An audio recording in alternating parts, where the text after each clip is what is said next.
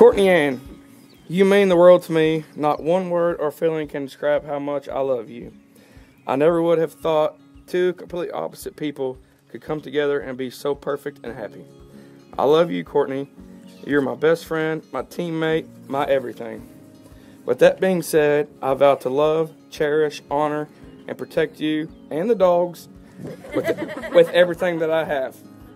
I vow that every day I'll wake up and know you'll be in my corner.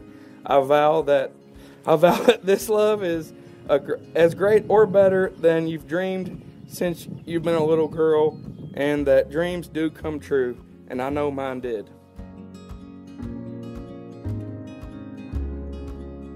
Patrick, I love you. Today I give myself to you in marriage. I promise to encourage you and inspire you to laugh with you and to comfort you in times of sorrow and struggle. I promise to remain faithful to you for better or worse in times of sickness and health.